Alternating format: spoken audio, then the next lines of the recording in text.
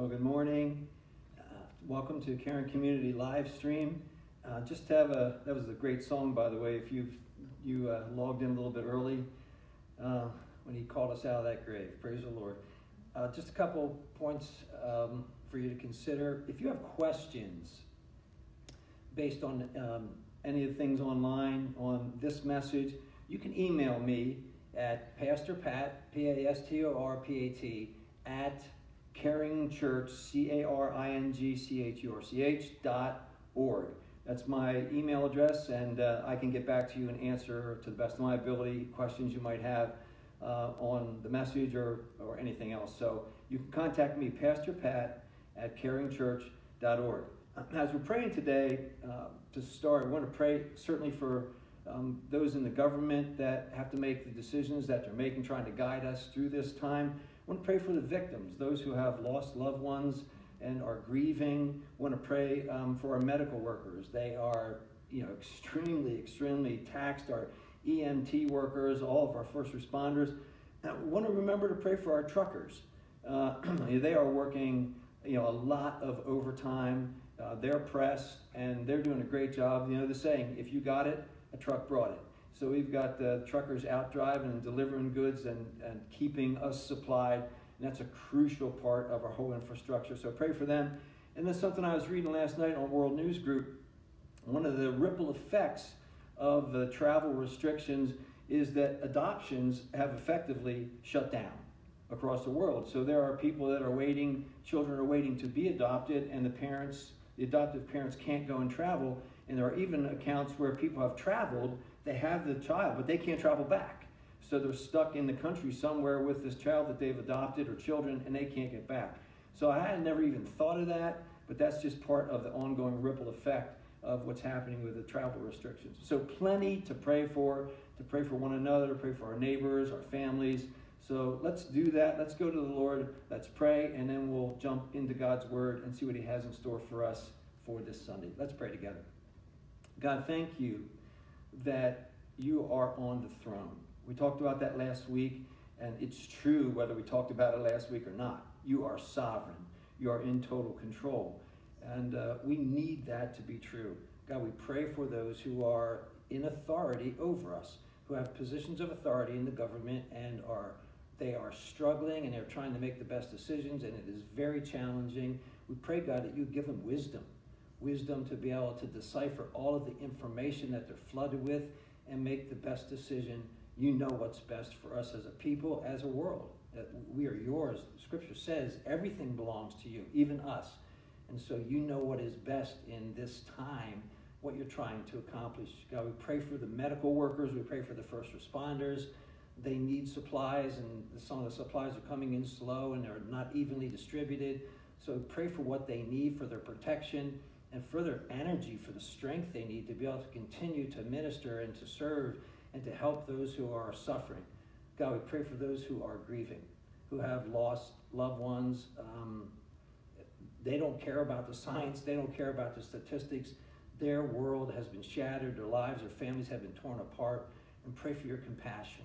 Pray for your mercy. Pray for the healing that they need deep in their hearts, the ability in your grace to be able to continue and to move on.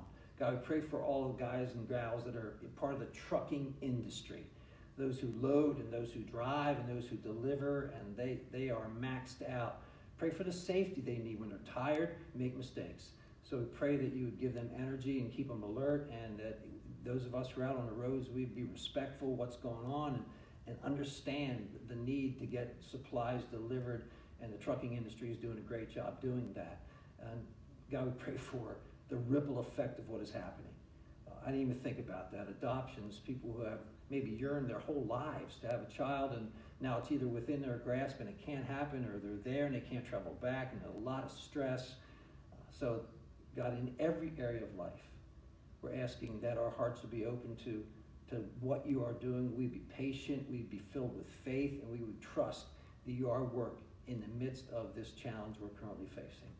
God, help us. Help us to love one another. Help us to reach out. Help us to be sensitive to those in our own families, in our own neighborhoods, those who are right around us, that we would continue to know you, to make you known. be transformed into your image. We pray it in Jesus' name.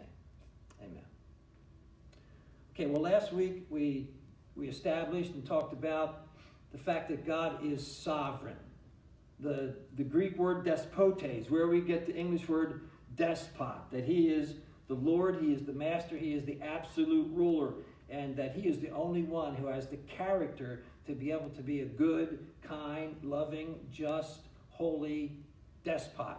And he is working his kingdom purposes in and for and through us, even when it seems like what is happening currently doesn't make sense to us or we don't even like it. We, we say, How can you be working in this, God? Because he is sovereign, he is at work. The song that we, we uh, sing here at Caring Community, and a lot of people like, you know, the Waymaker. Even when I don't see it, you're working. Even when I don't feel it, you're working. God is sovereign, he is at work. And the fact that he is sovereign affects our everyday life, our life decisions in every area. How we respond, what we believe about God, about his sovereignty, about his character, affects the way we live our lives. It affects what we do, it affects the decisions that we make. Now, a key characteristic that we want to talk about today, key characteristic of his sovereignty is his omnipotence. Omnipotent. He is all powerful. It is one thing for someone to identify themselves as being sovereign. He can say in the word that he's sovereign, that he's the Lord, he's the absolute ruler, but if he doesn't have the power to back it up, we don't believe it. I could stand up here and tell you till I'm blue in the face that I can fly. I could email you and tell you I can fly. I could text you and tell you I can fly. But if my feet never leave the ground, you don't believe that I can fly. I don't have the power. It's not demonstrated.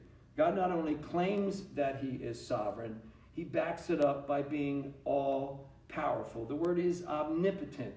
In the Greek, it is the word pantokrator, and, and you don't care about that. But it happens 10 times in the New Testament. One time it is translated as omnipotent, and the other nine times almighty. But it really means all ruling, absolute, universal, sovereign, almighty, omnipotent. So the very definition of it is included in the definition because when you say all powerful, it simply means all powerful. There's not much more to it than that. It is all powerful, all encapsulating. In the beginning of the book of Revelation, Revelation chapter 1, verse 8, God is setting the tone to John, and Jesus identifies himself to John, the one who the revelation is being given to. And he says this in Revelation 1 8. Jesus identifies himself and says, I am the Alpha and the Omega. I'm the beginning and the end. Everything holds together in me, says the Lord God, who is and who was and who is to come, comma, the Pantocrator, the Almighty, the Omnipotent. So that's the beginning of Revelation. In Revelation 19, at the end of Revelation, everything is coming to a close. He is pulling all of history to a close. All of his plans and purposes are going to be fulfilled exactly as he says, and this is what is heard in Revelation 19:6. John is hearing this, and, and, the, and the multitudes are declaring this. Then I heard what sounded like a great multitude, like the roar of rushing waters, and like loud peals of thunder, shouting, Hallelujah! For our Lord God Almighty reigns. Our Lord God Omnipotent reigns. He is all powerful. His omnipotence, his power has been displayed throughout Scripture, throughout history. So we clearly have evidence of the claim he is making. Go to creation. How the, the whole world is created, how it holds together. The fact that we are spinning and we spin at the perfect angle, and if we were slower or faster, we would not survive. Everything, the way it holds together, is supernatural a display of his power. The flood. The entire earth flooded, and yet the earth survived and the waters went down. And the more archaeological evidence they find, the more sophisticated we are at that, the more you find the validation of this huge flood that happened very quickly and then receded. Moses, the burning bush. God speaks to him out of a bush that's on fire, but the bush is not consumed. These are not just stories in Scripture, these things actually happen.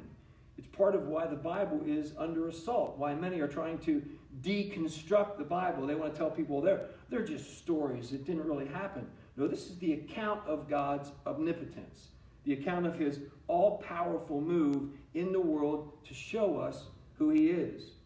The plagues, the parting of the Red Sea. You think of the parting of the Red Sea, historians tell us that the water where it was at that stage was probably when it was pushed back, this is 14 feet from floor to ceiling here at Caring Community. So it was probably twice that high. Think about walking through a water of wall, twice that high, stories high, and you're walking on dry ground. It's, it's just immense. It's all powerful. Gideon's victory. The ladies were just doing a, a, a Zoom version of uh, the Gideon story.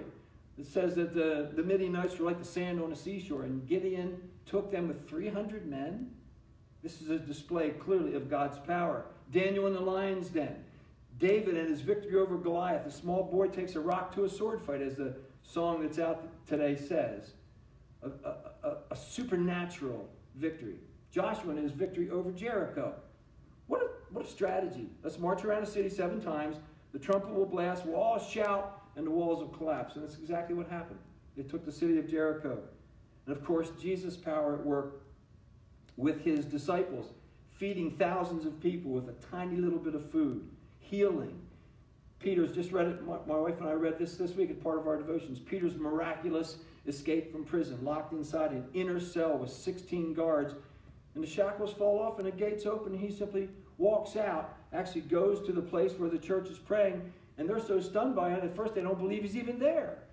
The miraculous deliverance of Peter from prison. And then, of course, and that's not the icing on the cake, it's the cake, the icing, it's the cherry on top, everything, is Jesus' life is a clear and total demonstration of God's power, culminating in Jesus being raised from the dead.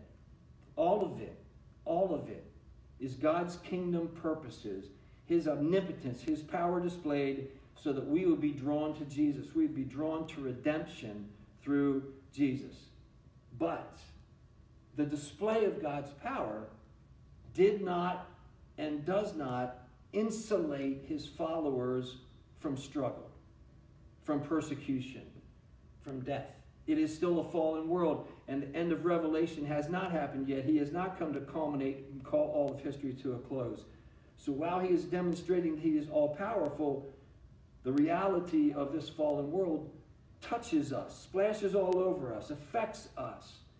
We are able to deal with it because we have an eternal perspective. We have an eternal promise in the midst of the crisis and the challenge. I want to take us to a passage, an account of God displaying his omnipotence, his power. Turn with me in your Bibles to 1 Kings chapter 17. It's in Old Testament. 1 Kings chapter 17.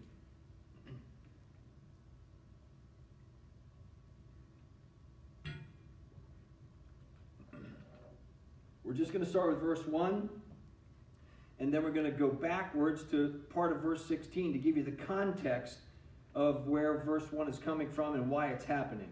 1 Kings 17, dot, dot, verse 1.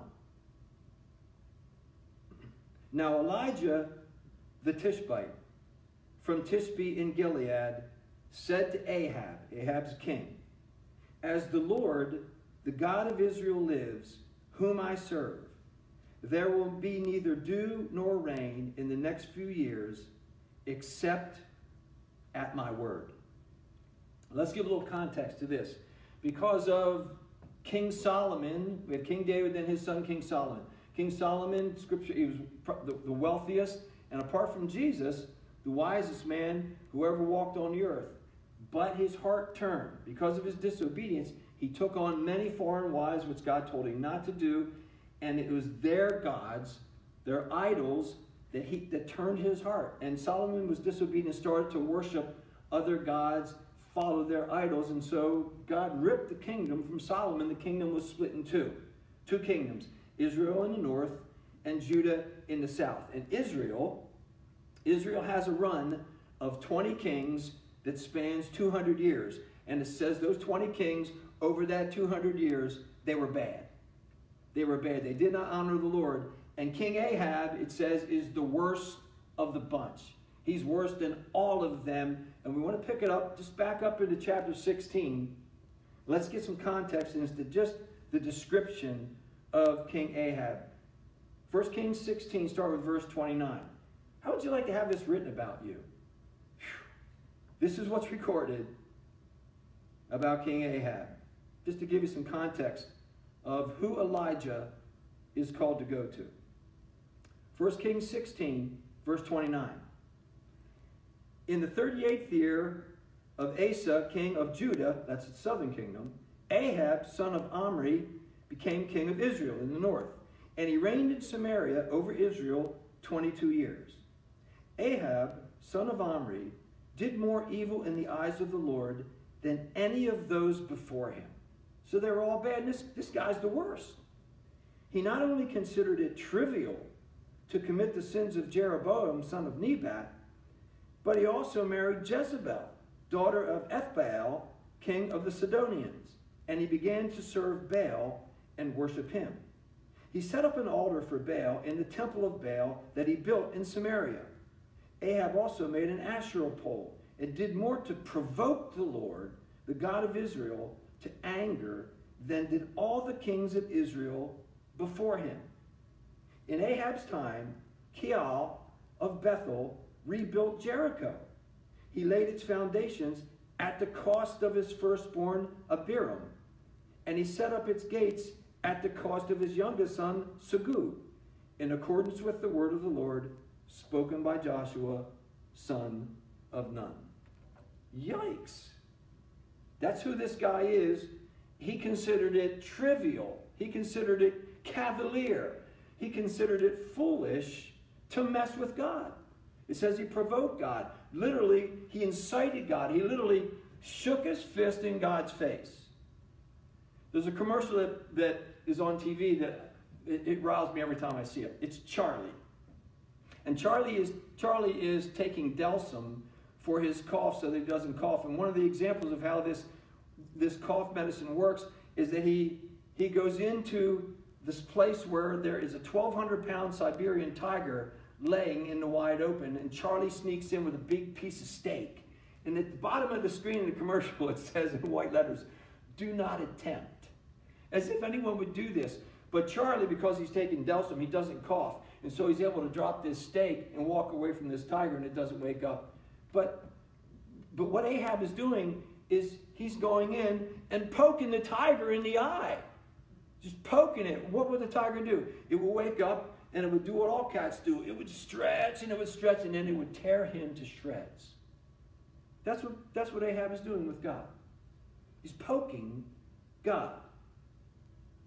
Galatians 6, verse 7 says this Do not be deceived. God cannot be mocked. A man reaps what he sows. And so, so God is not going to let this go forever. But this is what Ahab is doing. He is, he is poking God. So much so that it costs other people their lives. This is a very interesting little passage here in verse 34 about Kial. He, he goes and it just says that he rebuilt Jericho. And if you don't know context, you think, well, why did they put that in there?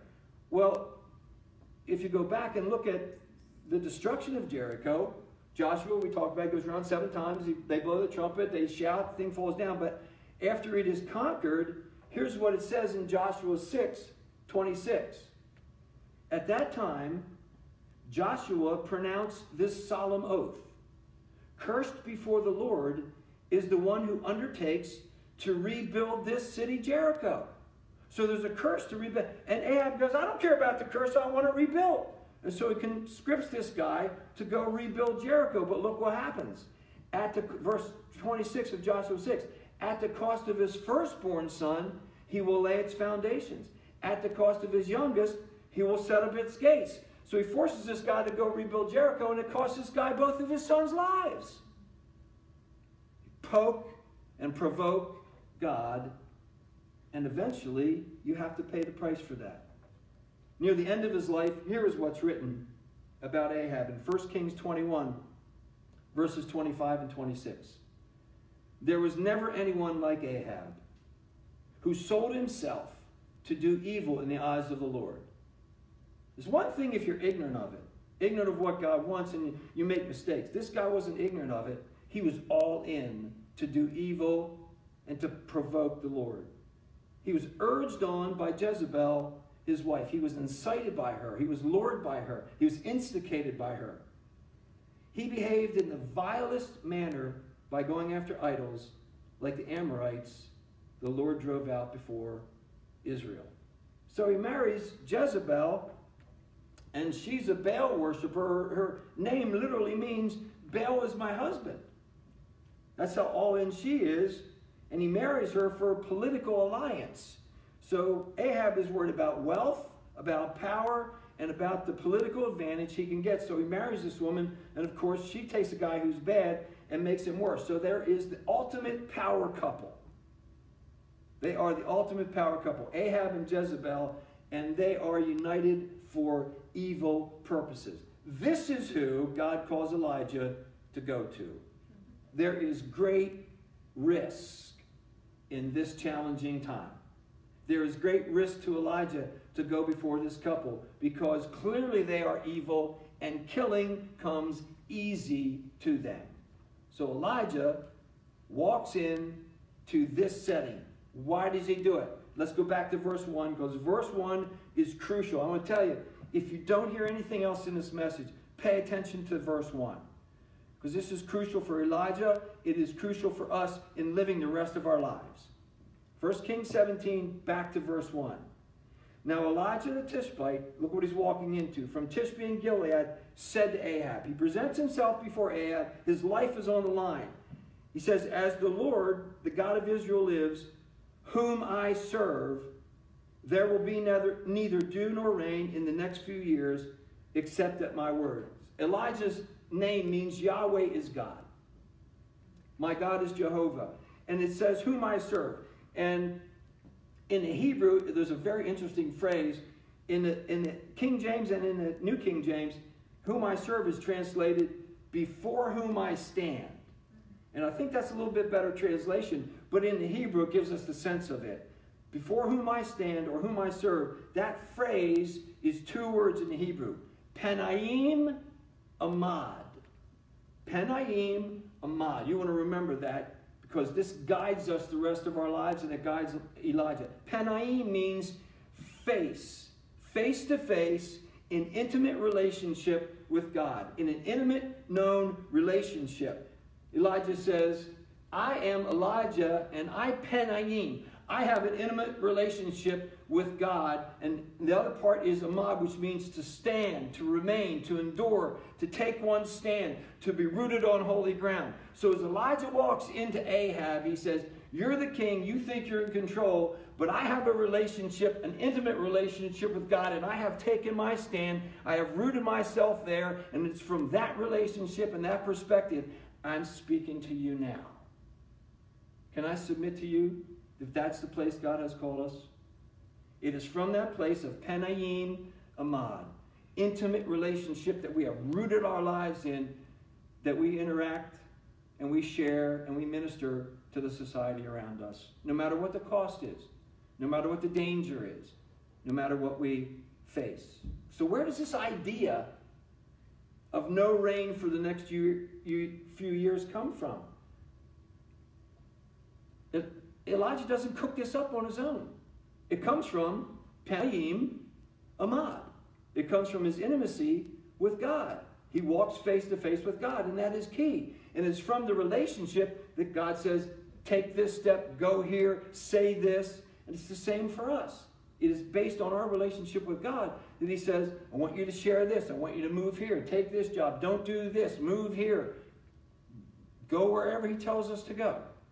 It is based on Penayim Amad, an intimate relationship with God where we have taken our stand and rooted our entire lives in that relationship. James 5:17 says Elijah's not special. James 5:17 Elijah was a human being even as we are, just like us. He prayed earnestly that it would not rain, and it did not rain on the land for three and a half years. Powerful stuff. Who controls the rain? Who stops the rain? God. But Elijah is just like us, it means same passions, same suffering, same feelings, same challenges, same opportunities as us. But he walks in it based upon his relationship with God, that that's what he has rooted himself in. And what God asks him to do, what he tells him to do, what he shows him to do, that's what he does. Now this is a this is a direct challenge to Ahab's idolatry.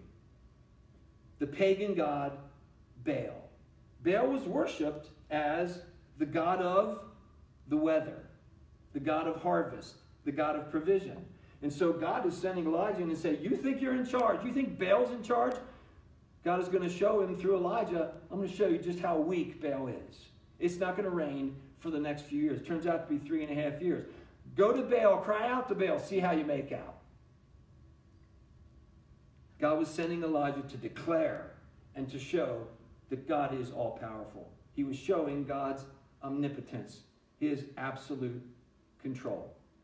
So let's pick it up. From that place of Penaim Amad, Elijah walks in. Let's pick it up in verse 2 and see how this starts to unfold. We see the all powerful move of God. 1 Kings 17, verse 2.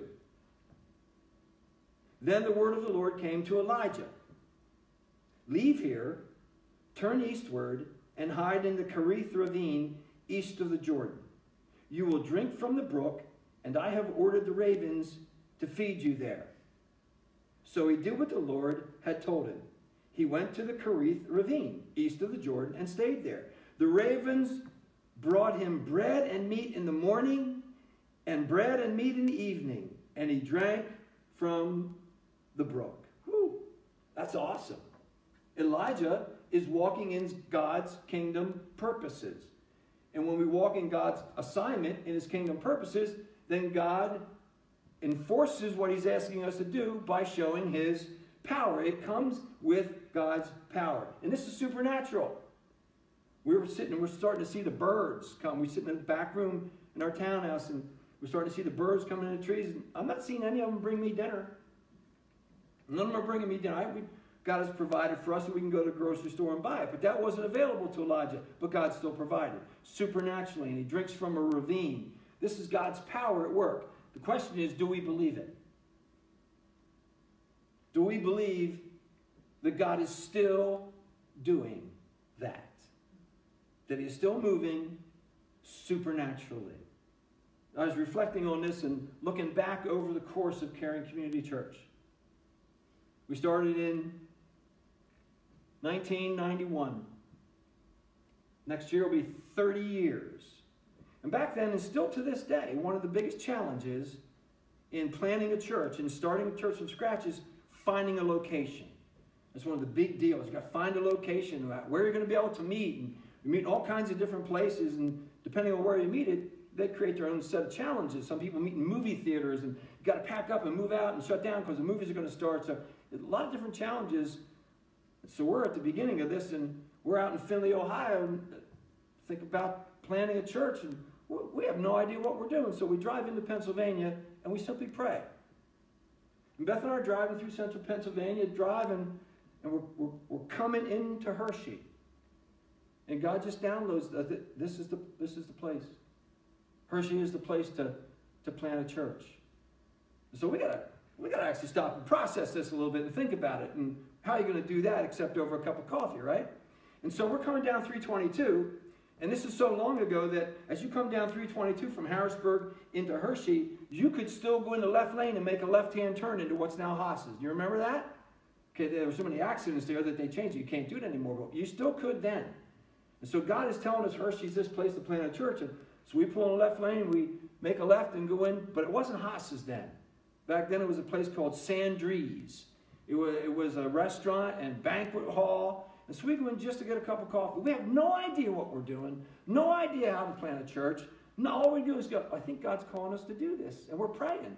And so we sit down at the counter, and Keith Cole walks out. We don't know he's Keith Cole at the time. Just met this guy, walks out. He goes, What can I get you? We just like to have some coffee. So he pours us coffee, and we're drinking coffee, and he comes back out to refresh us and say, How you guys doing? We go, um, Have you ever thought about letting a church meet here?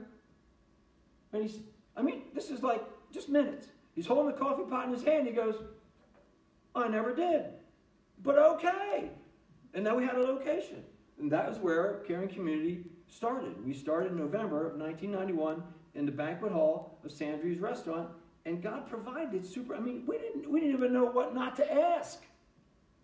He let us meet there. From there, we were only there in November, December. They sold the mortgage out from under him. He came to us. We only been there a couple weeks. He says, You got to move. They sold the mortgage out from under me. I'm, I'm losing the place. Now what? We pray. My wife is looking through the phone book about places to rent. How do we, what, what do we do? Union Deposit Fire Hall? Fire company? That doesn't make any sense. Called him up. Hey, do you think you'd let a church meet there? Never thought about it. Sure. And so we moved to Union Deposit Fire Hall and met in a fire hall with the fire trucks going in and out. Just crazy stories on and on and on and on and on about God's miraculous provision, His power at work as you walk in His kingdom purposes, His agenda. It's not God's power just to just so we get to say, "Oh, God did this cool thing."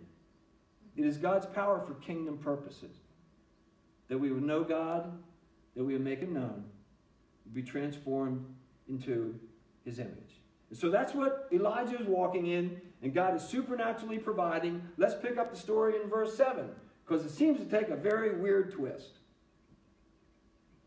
Verse 7, 1 Kings 17. Sometime later, the brook dried up because there had been no rain in the land. Well, no kidding.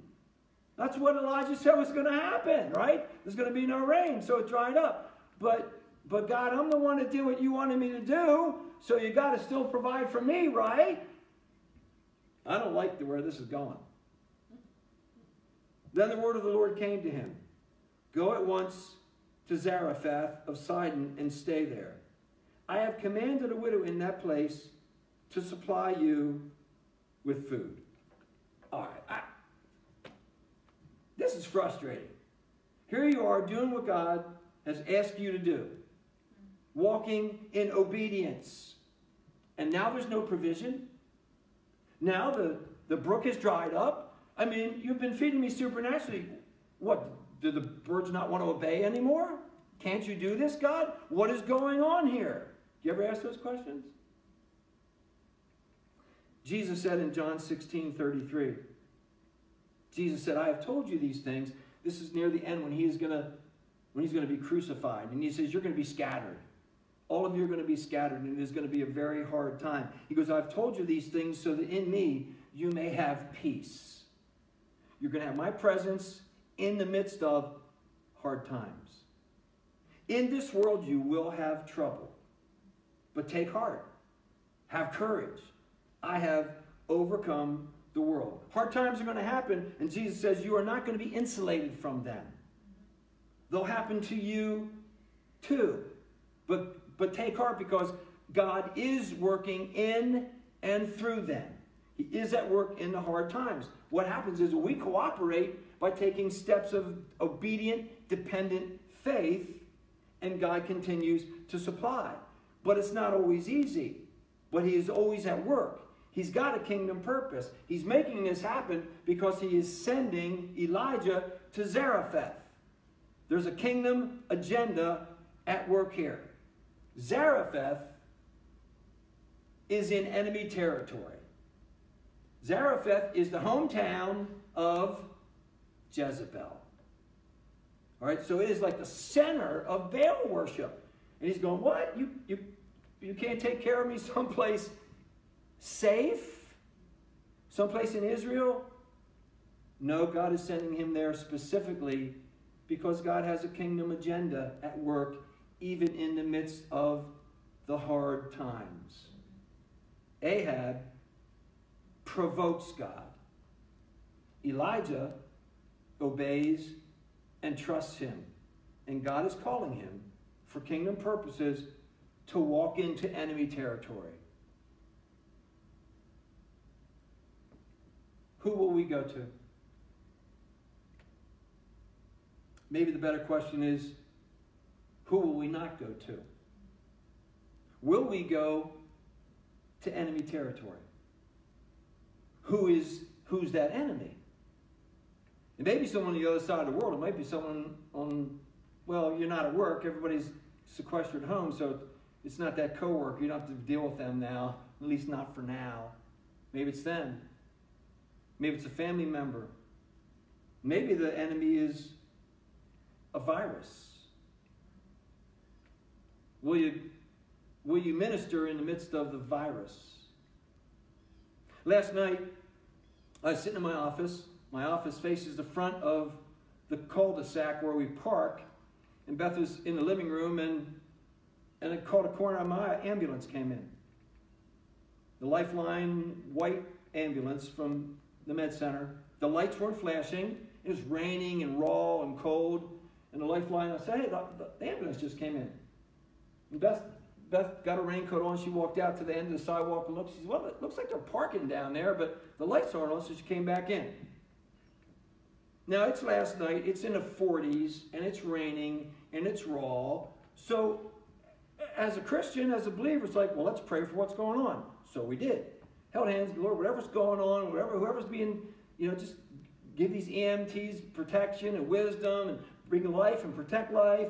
Amen. Good. We do what we're supposed to. Except God's go, go find out what's going on. But, well, we prayed. We did what we're supposed to. I don't want to. You know when God impresses on you. So I grabbed my umbrella and I walked down to the end of the cul-de-sac. And it's in one of the units. It actually is the unit of a couple where the husband has been here. He attended our last service of the shadows. He was here. And his wife is an invalid. She's in a wheelchair. And so it was her. I went up and I, and I said, hey, you know, I mean, the, the EMTs, they got the masks on, the shit, they got the whole thing, and rightly so, they need to be protected. I walk up with my umbrella. Says, so what's happening? Well, she's sort of like maybe flu-like symptoms, not really sure what's going on, and so they're going to assess her and find out what's going on. Holy Spirit. Pray, pray with him, pray for her. So he's standing right next to me. I put my hand on his shoulder. I pray for him. I'm hold my umbrella. Pray for him. He's really appreciative. Just pray the things, you know, God's care and God's love. Amen. He says, thank you, and he sticks his hand out. Shake my hand. What do you do? You shake his hand.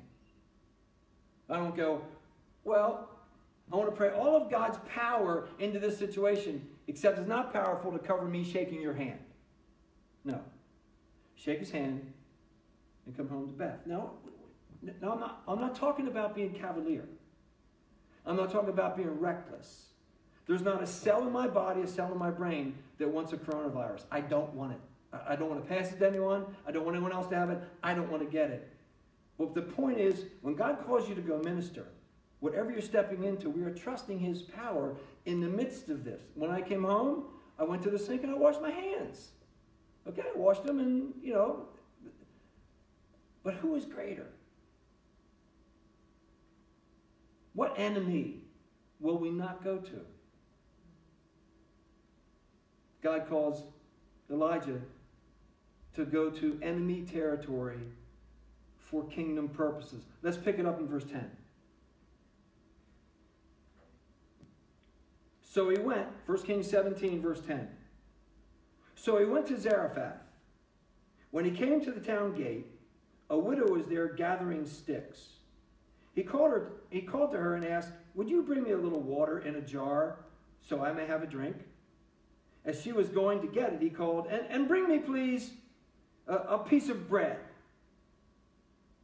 As surely as the Lord your God lives, she replied, I don't have any bread, only a handful of flour in a jar and a little oil in a jug.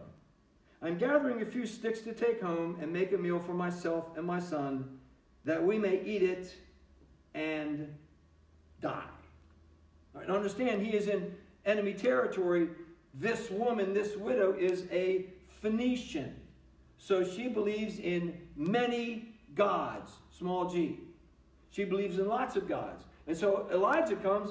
She, of course, because you believe in many gods, Elijah's got a God too. And so she says, I don't know about your God, and I don't know about my gods. We have all these gods, but what I can tell you is none of them have any power because we're in a drought, and I have this little bit of food left. I'm going to make a meal, and we're all going to die.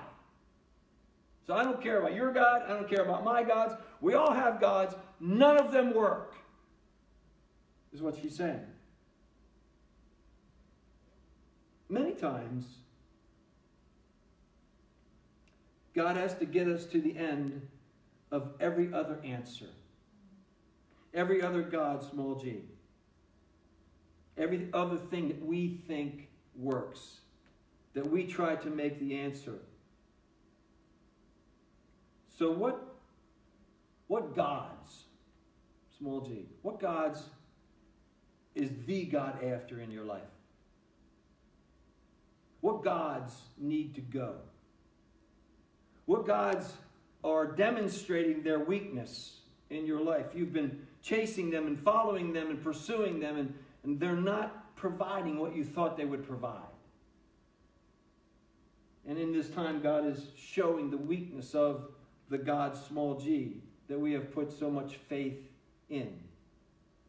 And Elijah comes on behalf of the God, Yahweh, Jehovah, the existing one, to challenge her and to show her there is a God, the God who is all powerful. Let's pick it up in verse 13. Elijah said to her, Don't be afraid. Boy, do people need to hear that today. Everywhere we go, we can declare because of the truth we have, because of Panayim Amad, we can be, declare, Don't be afraid. Don't be afraid. Go home and do as you have said. But first make a small cake of bread for me from what you have and bring it to me. And then make something for yourself and your son. For this is what the Lord, the God of Israel, says The jar of flour will not be used up, and the jug of oil will not run dry until the Lord gives rain on the land. She has a decision to make. And that's when back, back in verse 9 when, she, when, when God says, I have commanded her, this is the move of the Holy Spirit. She doesn't even she doesn't even know Yahweh. She doesn't even know Jehovah. But there's something in her moving her to take this step of faith. And it is really the it is the prefiguring of the of the move of the Holy Spirit that we have in all of us as believers and the move of the Holy Spirit when we are doing ministry in the world. Same thing is happening here. She has not had a aha moment yet. But she went away, verse 15, and did as Elijah had told her. God's at work. So there was food every day for Elijah and for the woman and her family. For the jar of flour was not used up, and the jug of oil did not run dry, in keeping with the word the Lord, the word of the Lord spoken by Elijah. All right, we're rolling now. We've got more miraculous provision, miraculous supply. Now we can wait this thing out. Right? We're going to just hunker down. We're going to wait until it rains, until the crisis is over. We got oil, we got food, we got enough toilet paper. We're ready to go. But God knows what's needed. She has not come around yet. She's happy for the supply, but she still doesn't know the one, Yahweh, who it came from. He is still working his plans and purposes. Let's look at verses 17 to 24. I'd be happy with, hey, we just got oil, we got food. Let's wait this thing out, right? Let's just be safe. But God's at work. Verse 17. Sometime later, the son of the woman who owned the house became ill. He grew worse and worse and finally stopped breathing. She said to Elijah, What do you have against me, man of God? Did you come and remind me of my sin and kill my son? In other words, I don't know about all these gods, but it's your God's fault. It's your fault. We're hearing a lot of that too. Give me your son, Elijah replied. He took him from her arms, carried him to the upper room where he was staying, and laid him on his bed. Then he cried out to the Lord. O Lord my God, you have brought tragedy also upon this widow I am staying with by causing her son to die. Then he stretched himself out on the boy three times and cried to the Lord, O Lord my God, let this boy's life return to him. The Lord heard Elijah's cry, and the boy's life returned to him, and he lived. Elijah picked up the child and carried him down to the room into the house. He gave him to his mother and said, Look, your son is alive.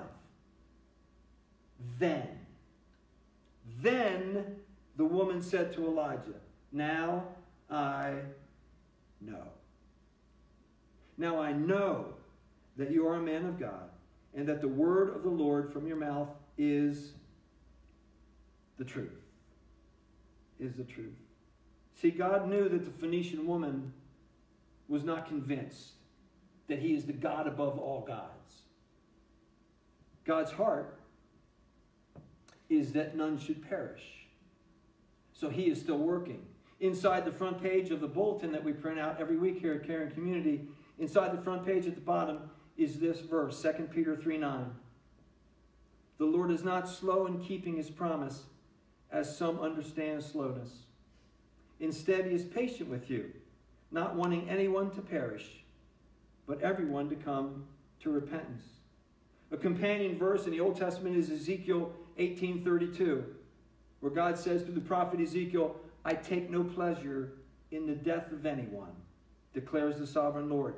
Repent, turn, change your way of thinking, change your course of pursuit, and live.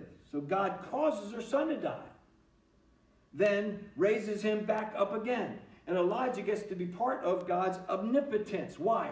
For kingdom purposes for kingdom purposes. And what's the purpose? That she would know. That she would know God. The word know there is the Hebrew word yada. To know, to perceive and see, to find out, to distinguish. She needs to distinguish between Yahweh and all these other gods, small g. And now she knows, she decides to know by experience, to recognize, to confess, to decide for yourself. It's the same word that Satan uses with Eve when he tempts her in Genesis 3 and says, You don't have to follow God. You can yada. You can decide for yourself good and evil.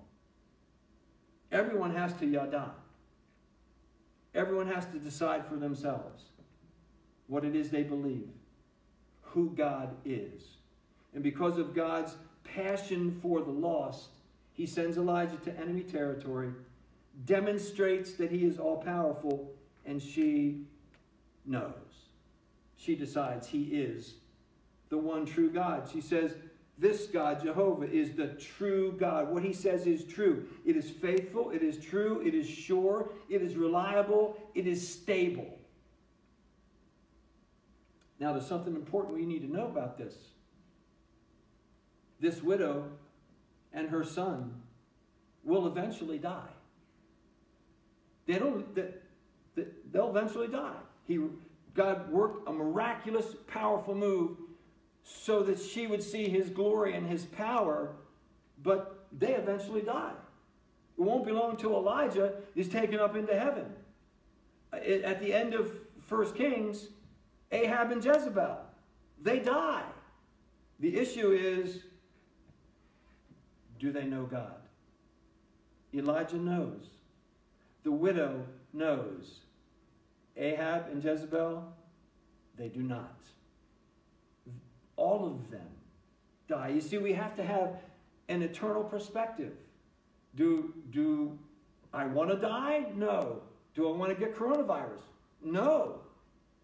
Am I prepared for it? Yes. Why? Eternal perspective. Because I know.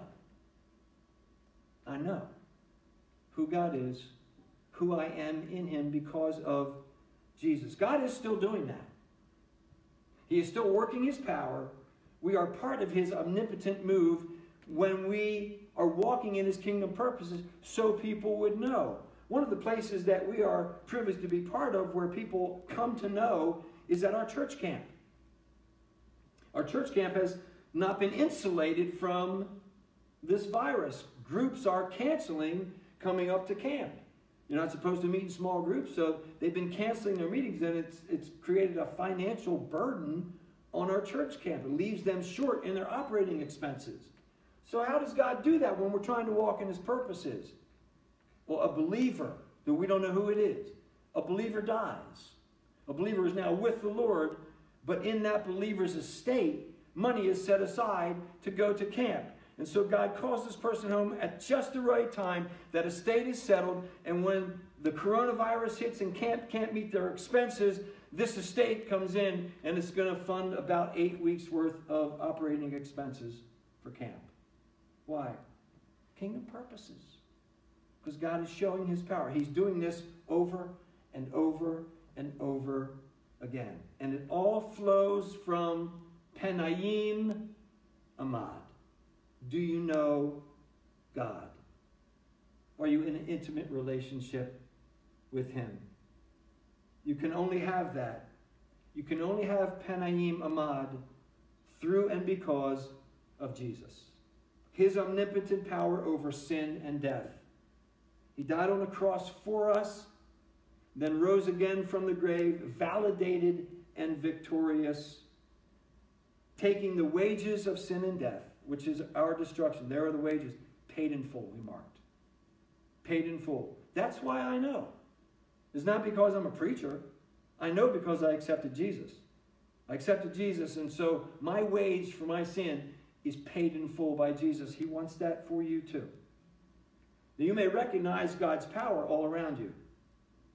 Recognizing his power is not the same as surrendering your life to Jesus. His power only enters into you when you accept him as your personal Savior. Then you know him. In Ephesians 1, verses 18 to 20, God's word says this I pray that the eyes of your heart may be enlightened, in order that you may know the hope to which he has called you, the riches of his glorious inheritance in his holy people, and his incomparably great power for us who believe. That's those who have accepted Jesus, who believe in Jesus as their Savior. If you don't believe, that incomparably great power is at work, but it's not at work in you. It's at work trying to draw you to Him. That power is the same as the mighty strength He exerted when He raised Jesus Christ from the dead and seated at His right hand in the heavenly realms. Jesus Himself says in John 14, 6, I am the way, the truth, and the life. No one comes to the Father except through me. If you are listening out here this morning and you have not done that, you have God's small g that you have invested your life in, and you're sitting there and you know right now the Holy Spirit is impressing on you that they don't have that power. They have not, they have not been as advertised. Today is the day. Now would be the time for you to put your faith in Christ. It is a simple prayer. Say, Lord, I've been investing my life in the wrong things. Maybe you have shaken your fist at God and maybe you have just ignored him. But either way, he is showing his power to you today through his word, through the Holy Spirit touching your heart. And ask him into your life. Say, Lord, I accept your payment as paid in full for my life. I accept you as my Savior, and I strive now through the empowering of your Spirit to make you Lord of my life. If you do that right now, if you've prayed that, you are saved. His power coming into you through the Holy Spirit, your sin is paid for in full, and He is demonstrating His omnipotent power to and in you. For all of us who do believe, who have done that, look for His omnipotence in everyday life. He is still at work. Look for it to be part of it. Expect it. Expect to be part of his move for his kingdom purposes. Our devotions, Beth and my devotions this morning. Beth came and she said, I didn't get to do mine yet. She came and she said, You got to read this verse to close. So I'll use this as a, a closing verse. Came about out of our devotions, which she read and I will. 1 Corinthians 16, verses 13 and 14. Paul writes to the church and he says this No matter what crisis you're facing, what enemy you're facing, what time it is, be on your guard. Stand firm in the faith. Be people of courage. Be strong. Do everything in love. So I looked that up real quick this morning. Here's the beautiful part of it the be on your guard, the stand firm in faith, be a certain people, people of courage. That's all active voice. Those are the steps of faith we take.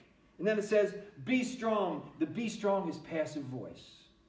It's what God does to us. It's his omnipotent power. You take the steps of faith and follow me, and I will, I will inject my omnipotent power into your life and carry you along. Do it all in love. Penayim Amad. The face to face, intimate relationship with God. He's still working. Let's be part of it. Amen and amen. Let's pray. God, thank you. I pray for any who are out there that just made that decision that they recognize they desperately wanted Penayim Amad to be face to face in relationship with you of intimacy and for your power to guide and, and, and rule their lives. Pray you would encourage them, and if they're not part of a church or caring or whatever they are, that when this breaks and we're able to meet again, that they would be part of a fellowship that loves you, that loves your word, that declares your word, and will help them grow in, in the relationship they have with you. But for all of us, Lord, for all of us who are listening who have that relationship, let us not fall prey to westernizing what is happening, that we only believe in things we can see with our eyes, taste with our tongues, feel with our hands, but that we recognize you are moving in a powerful way and you invite us into that. And it, and it cannot be explained in any other terms than the omnipotence of a sovereign God, that you are at work. Thank you for it, Lord, that we can be Panayim. We can take our stand. We can root ourselves in an intimate, loving relationship with you. In Jesus' name, amen.